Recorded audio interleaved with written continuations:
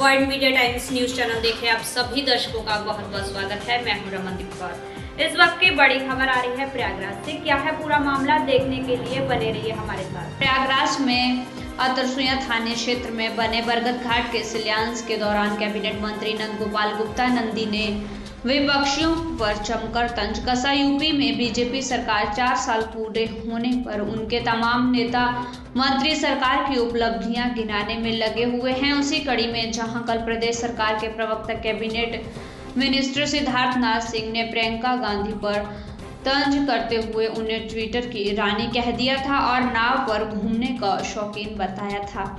वहीं आज उड्डयन मंत्र नंद गोपाल नंदी ने भी प्रियंका पर तंज कसते हुए कहा कि वह एकांत में बैठकर ट्विटर करने वाले हैं। वह क्या जाने जमीनी हकीकत जिसमें कोरोना के समय में ऑटो और मोटरसाइकिल का नंबर देकर बस की लिस्ट भेज दी थी। जनता के साथ मज़ाक किया था।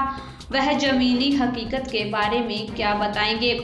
वहीं सपा कांग्रेस और बसपा पर आरोप लगाते हुए नंद गोपाल गुप्ता नंदी ने कहा कि इन पार्टियों में भाई भतीजावाद चलता है और यह भी कहा कि जब सपा की सरकार थी तो यादवों से भी 10 लाख से 10 लाख लिया जाता था और गैर यादव से 15 से 20 लाख रुपए ले लिया जाता था। और जब बसपा की सरकार थी तो दलितों से 15 लाख और, और गैर दलितों से 20 से 25 लाख लेकर नौकरी दी जाती थी। आज माननीय योगी आदित्यनाथ के नेतृत्व में लोगों को बिना पैसा लिए रोज़गार मिल रहा है और सभी नियुक्तियाँ पारदर्शिता के साथ हो रही हैं। ये सुनाते हैं। देखिए हम सबका परम सौभाग्य है कि आज हम उस कालखंड में हैं जहाँ इस देश की बागडोर एक परम तपस्वी आदरणीय नरेंद्र मोदी जी के हाथों में सुरक्षित है तो वहीं दूसरी ओर इस प्रदेश की बागडोर एक कर्म योगी मुख्यमंत्री योगी आदित्यनाथ जी के हाथों में, जिस प्रदेश में रहने वाले 24 करोड़ लोगों को अपना परिवार मानते हैं। और चार सालों में वो वो कार्य हुए हैं जो वर्षों से लंबित पड़े थे। दूसरी सरकारों में केवल लूट का अड्डा बना था एक रुपए की चीज़ सौ सौ रुपये तक उसकी लागत वृद्धि तक करते गए और अपनी जेब भरते गए, उसको क्रियान्वयन नहीं कर कर सके, कर पाए।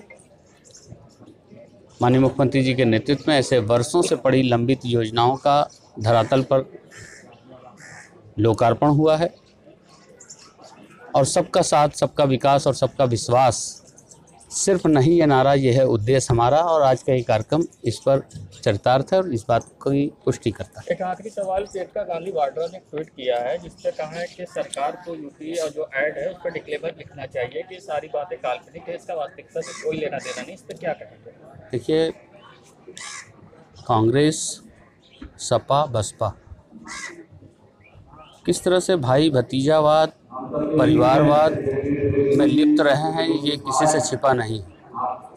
शानदार एकांत में बैठ कर के ट्वीट करने की राज, राजनीति सोशल मीडिया में बयानबाजी करने की राजनीति।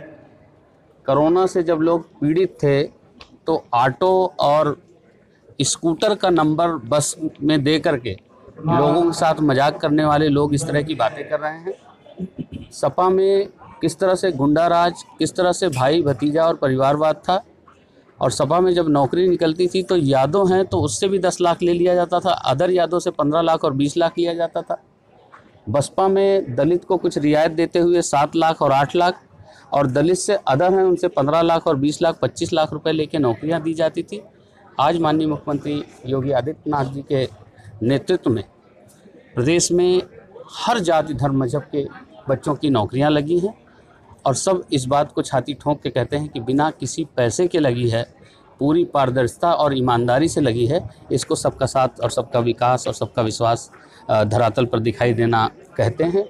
और सभी जाति, धर्म, मज़हब के लोग 2014 से, जिस दिन से भारतीय जनता पार्टी की सरकार केंद्र में बनी है, आदरणीय प्रधानमंत्री नरेंद्र मोदी जी के नेतृत्व में, उनके लगातार किए गए कार्यों पर 2017 में जनता ने मोहर लगाई।